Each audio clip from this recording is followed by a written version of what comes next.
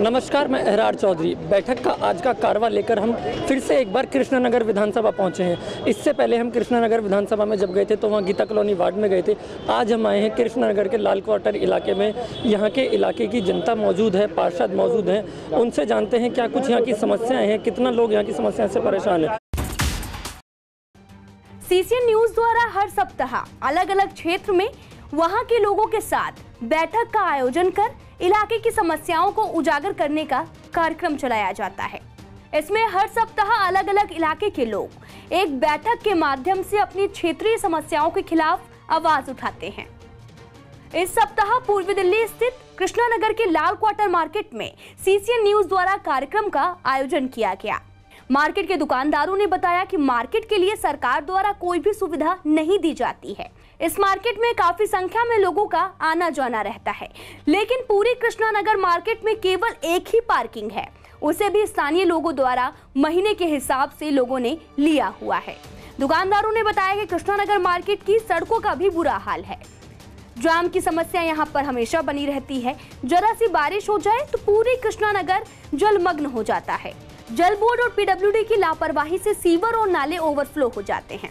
जगह जगह इन्होंने पाइपलाइन डालने के लिए सड़क भी खोद दी है जिससे लोगों को काफ़ी परेशानियों का सामना करना पड़ता है। सीसीएन लाइव के लिए एरहार चौधरी की रिपोर्ट।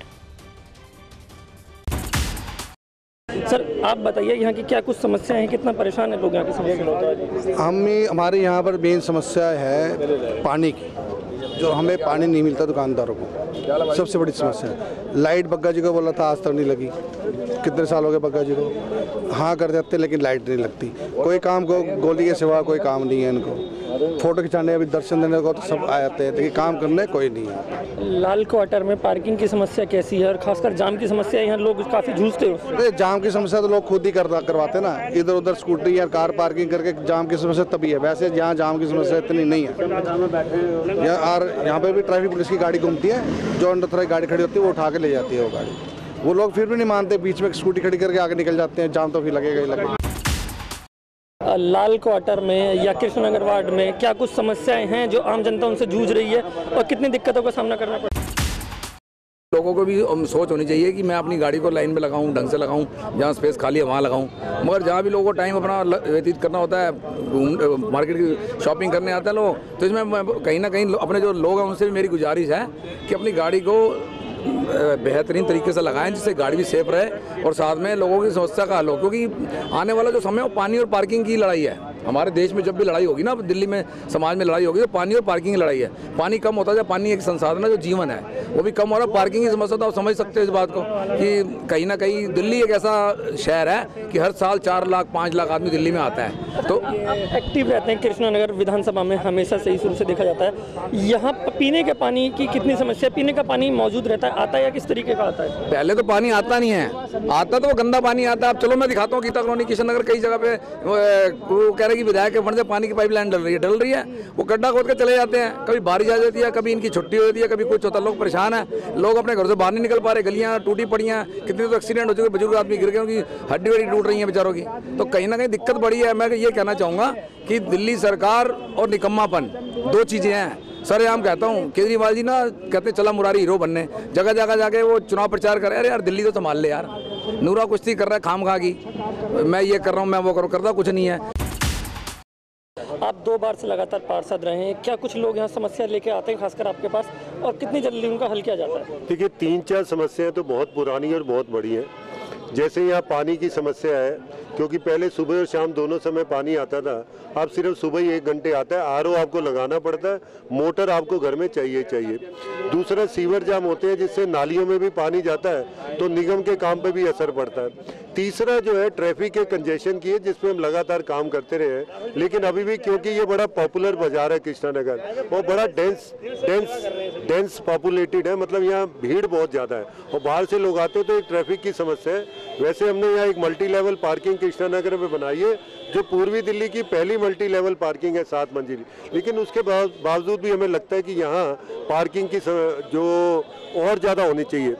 मैं जब पहले आया था पाँच साल पहले तो वहाँ दो बड़ी समस्याएँ और थी कृष्णानगर में। एक तो था कि थोड़ी थोड़ी दूरी पर बड़े बड़े कूड़ा घर थे, और कूड़ा उठाने में बड़ी दिक्कत थी।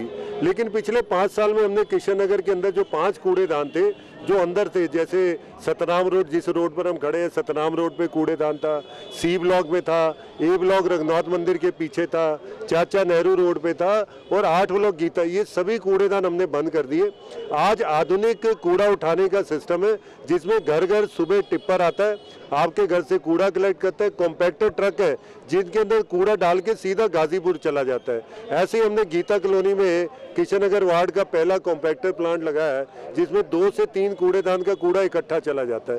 तो इन समस्याओं को हमने खत्म किया। दूसरा किशन नगर में जल भराव की बहुत बड़ी समस्या थी।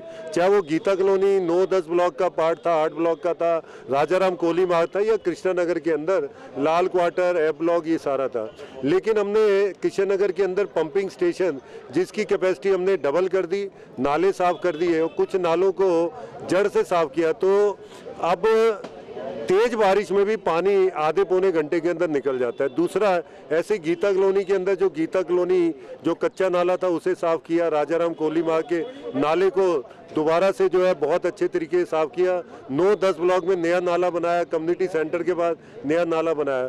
तो ये दो बड़ी समस्याओं में 90 परसेंट हमने जो है निजात पा लिया है। लेकिन अभी भी कंजेशन की एक समस्या जिस पे हम काम कर रहे हैं। और मैं बताना चाहता हूँ, इस पर हमने एक बहुत बड़ा काम, पूरी दिल्ली में जो पहली बार हुआ था, जो लाल क्वार्टर बाज़ार है, उसे हमने दो साल पहले पेडेस्टल बाज़ार मतलब पैदल चलने वालों का बाज़ार किया था। तो उसमें चौदह ऐसे स्थान थे, जहाँ इस बाज़ार को सुबह दस बजे बंद करते थे।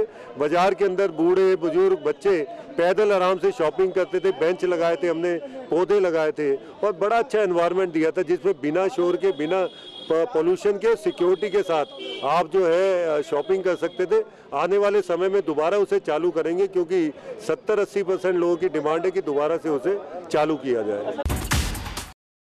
अभी कुछ दिन पहले मैंने गीता कॉलोनी दस ब्लॉक की खबर करी थी, जहाँ लोग कूड़े की समस्या से काफ़ी परेशान हैं। उनकी समस्या है, उनका कहना है कि कई बार कंप्लेंट के बाद हल नहीं की जा रही देखिए, क्या होता है, दस ब्लॉक के साथ ही थोड़ा सा हमारा सफ़ेदा बस्ती भी है तो उस एरिया में, लेकिन क्या है कि हमारी नज़र रहती है। गली गली में टिप्पर जाते हैं, लेकिन अभी भी लोगों को आदत बदलने की ज़रूरत है कि जब टिप्पर आपकी गली में कूड़ा वहाँ डालें।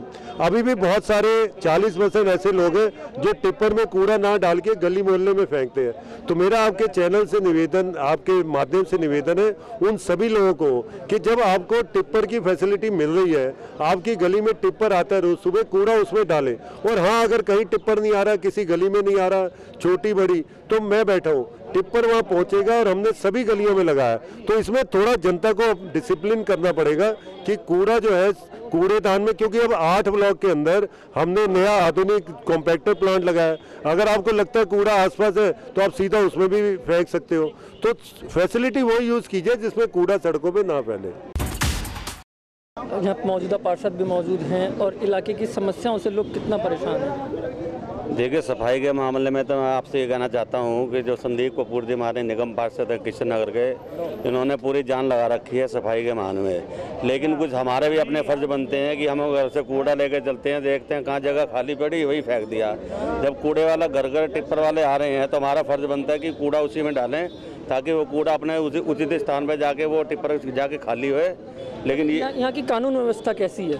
कानून व्यवस्था देखो जी दिल्ली पुलिस के जो हमारे जवान हैं। अभी कुछ दिन पहले एक मर्डर का भी मामला आया था। वो मर्डर तो उनकी जो आपसी रंजिश का मामला था लेकिन उसके बावजूद भी वो जो जिसने भी गोली चलाई जिसने मर्डर किया वो पुलिस की तत्परता के के साथ ही वो व्यक्ति पकड़ा गया और आज वो जेल में है।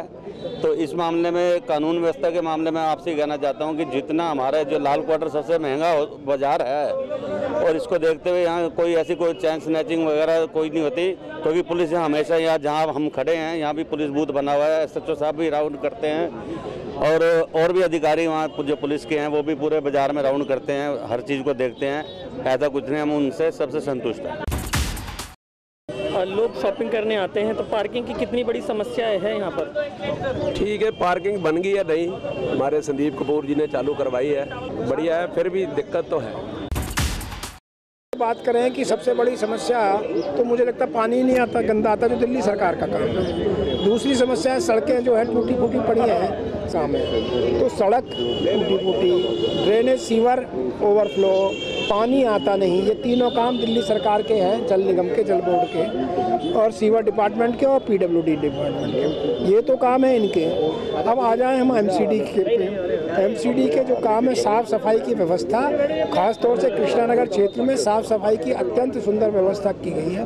और मैं पिछले तीस सालों से यहाँ रहता हूँ। तो पहले क्या था कि कूड़ा करते खत्ता करते खत्ता मुक्त कृष्णानगर हुआ, क्योंकि वहाँ कॉम्पैक्टर लग गए हैं। जो इकट्ठा हो रहा है, जो सूखा और गीला कूड़ा इकट्ठा होकर सीधे वो कॉम्पैक्टर के माध्यम से सीधे वो लैंडफिल साइड पे जाता है। तो कहीं भी आपको सड़क पर कूड़ा नहीं दिखाई दे। और एक और चीज़ है मैकेनिकल स्वीपिंग है। हम लोगों की बड़े दिनों से ये बात थी, पार्षद जी से कि भैया, इसको रात में साफ़ करवाओ, ये मार्केट है वो रात में सफ़ाई होने लगी तो सफ़ाई व्यवस्था अच्छी है। हाँ जो गार्डन्स की है व्यवस्था, जो अपने पार्क्स हैं उसमें इनको पैसा ही नहीं है। मुझे बताया गया कि चार पाँच कुल माली हैं पूरे उसमें। तो वो मालियों की कमी को पूरा करें। अब ये दिल्ली सरकार उसमें पैसा नहीं दे रही।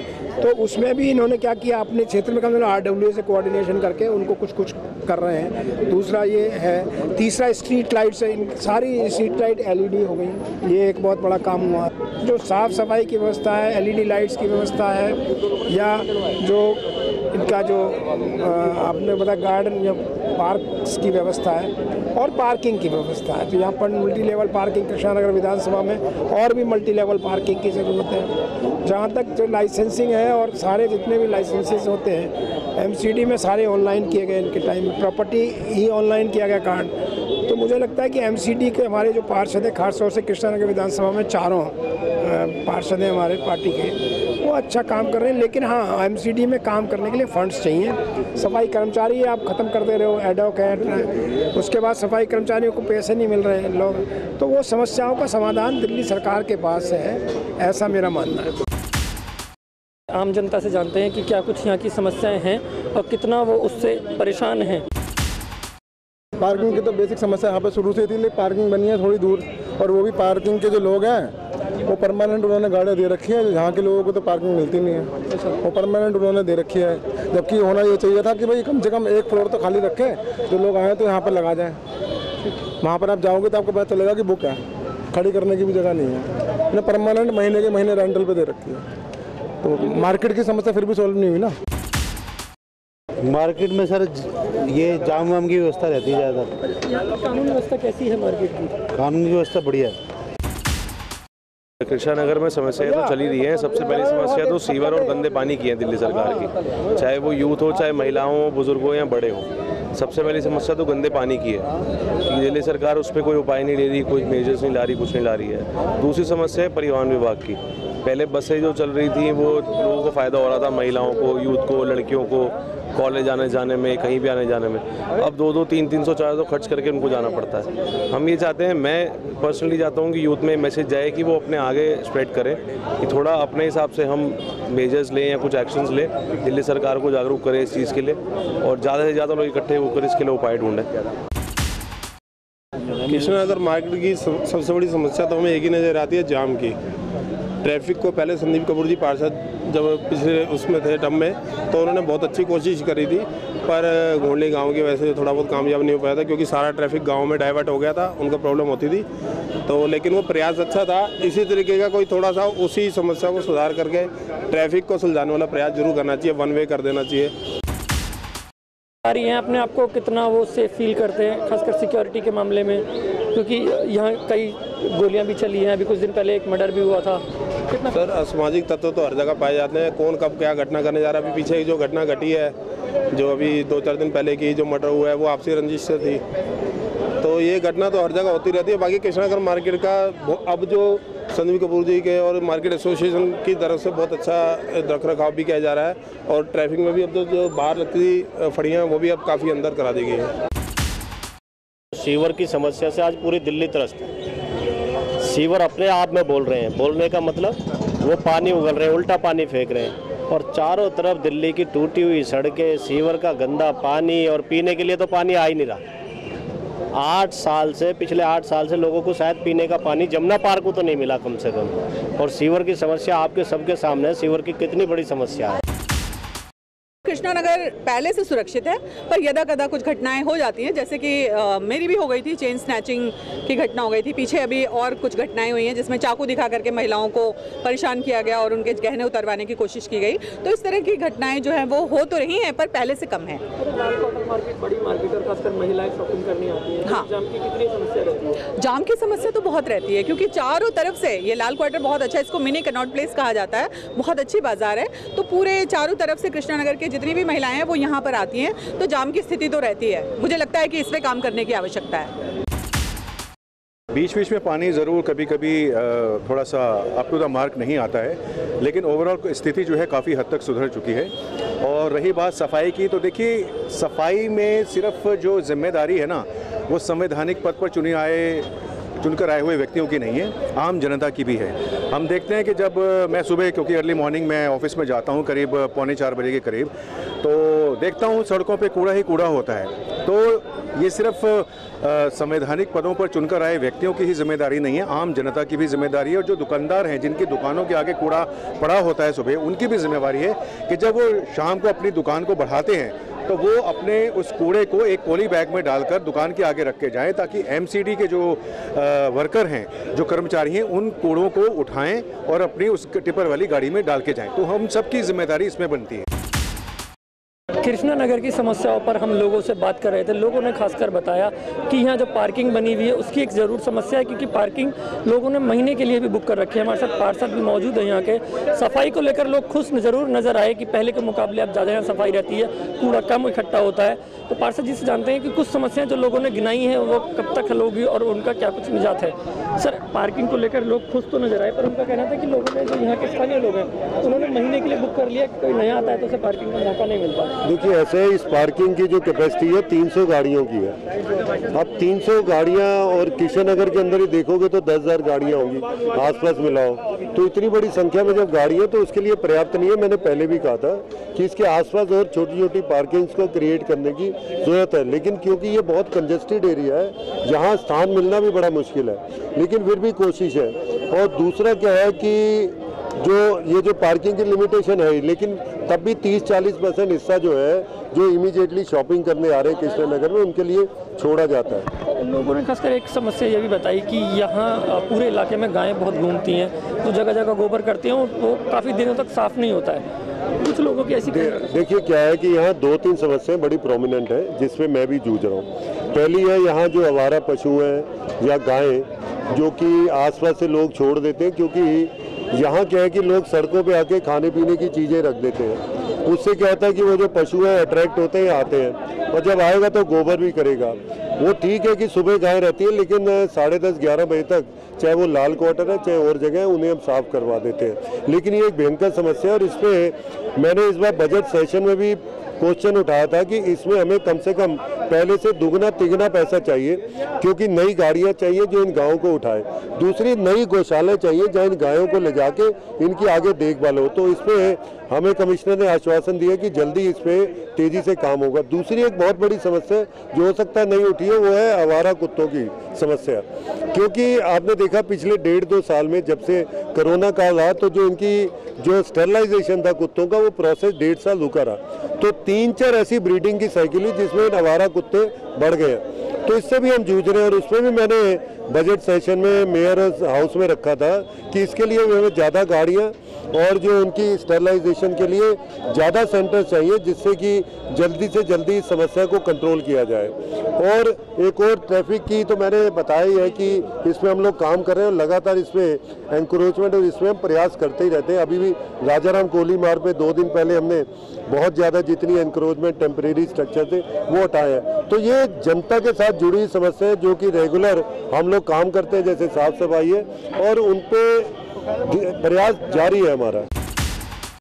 जैसे मल्टीप्लेक्स पार्किंग तो बनी हुई है लेकिन अब जगह जो है मार्केट के हिसाब से कम होती जा रही है तो हमारी एक डिमांड है कि इस तरीके की पार्किंग एक और बननी चाहिए। आ, क्योंकि जो लोगों का आना जो होता है अब गाड़ी हर किसी के पास होती है तो गाड़ी से जब लोग आते हैं तो उनको समस्या बड़ी होती है कि पार्किंग में जगह कम होती है। आ, क्योंकि मार्केट में जो भी कोई आता है कम से कम दो या तीन घंटे लगा कर जाता है तो उस समय में पार्किंग ना मिलना एक बहुत बड़ी समस्या है। तो हमारा यही निवेदन है स्वीक एजेंसियों से कि एक पार्किंग का इंतज़ाम और करें। अच्छा कृष्णा नगर वार्ड में पार्क जो है जो फैमिली के लिए पार्क बने होते हैं उन पार्क की कंडीशन क्या है? क्या वो हरे भरे हैं या नहीं है? कैसी देखिए अगर देखें तो पहले से तो सुधार हो रहा है पार्कों में और लोगों का भी आवागमन ज़्यादा हो चुका है और लोगों में भी एक तरीके से जागरूकता आ गई है कि अपने आसपास के एरिया को स्वच्छ रखें। तो लोगों से निवेदन है और स्वीक एजेंसियों से तो मेरा आग्रह है ही है कि जिस तरीके से भी साफ़ सफ़ाई का विषय ध्यान रखा करें और लोग भी जागरूक हो रहे हैं लोग भी ध्यान रख रहे हैं।